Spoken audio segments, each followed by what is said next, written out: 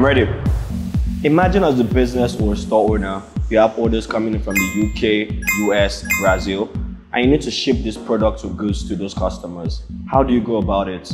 That's where GIG Logistics comes in. GIG Logistics can take this shipment from your store straight to the customer's doorstep in just five to seven business days. You might be wondering how does this work? You have two options.